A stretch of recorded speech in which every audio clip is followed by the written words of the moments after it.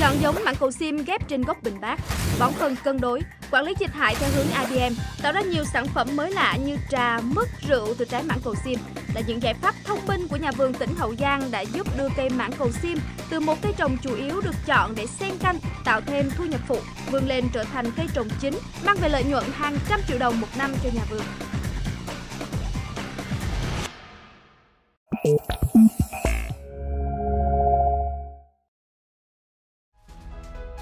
Cây mãng cầu sim với kỹ thuật canh tác bền vững, giá trị kinh tế cao cùng nhiều sản phẩm phong phú và đầu ra ổn định đã giúp định hình vùng chuyên canh mãng cầu sim của tỉnh Hậu Giang. Dự báo mùa khô năm 2019, thời tiết diễn biến phức tạp, tình hình khô hạn khắc nghiệt, do đó để cây mãng cầu sim trồng thâm canh thích ứng được biến đổi khí hậu thì các ngành chức năng cũng lưu ý bà con cần theo dõi dự báo thời tiết, kết hợp chế độ chăm sóc bón phân hợp lý và áp dụng hệ thống tưới phun tiết kiệm nước trên vườn cây để gia tăng hiệu quả canh tác.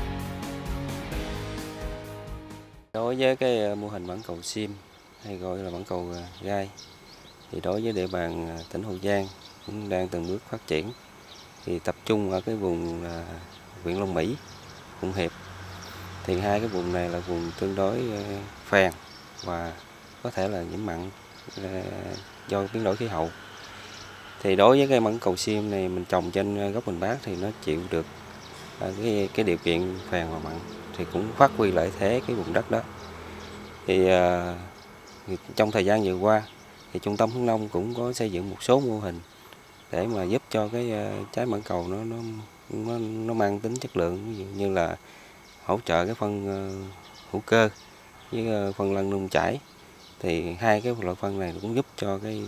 cái phẩm chất trái nó nó, nó đạt yêu cầu hơn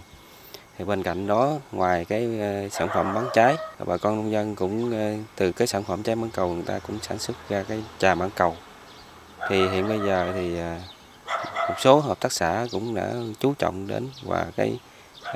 cái cái quảng bá thương cái sản phẩm đến bà con nông dân thì, thì bây giờ cũng đã được nhân rộng. Và trong thời gian tới thì tỉnh cũng tiếp tục phát huy cái cái cái lợi thế này để mà giúp cho bà con nông dân sản xuất có hiệu quả hơn. Trong năm 2019 và thời gian tới chúng tôi cũng ờ, hướng cho bà con và cũng tiếp tục sử dụng các cái ờ, sản phẩm phân chủ yếu là cái phân lân nông chảy với cái phân hữu cơ. Thì cái hai loại phân này thì giúp cho cái cây nó uh, sinh trưởng và phát triển tốt. Bên cạnh đó nâng cao cái phẩm chất trái lên. Thì uh, trong thời gian tới ngành khuyến nông cũng hướng vào cái cái sản phẩm đó còn bên cạnh đó thì ờ, đối với tình trạng sâu bệnh thì chúng ta cũng nên lưu ý là khi mà sử dụng cái những loại thuốc thì ưu tiên những cái loại thuốc cái, có nguồn gốc sinh học để cho cái ờ, cái sản phẩm chúng ta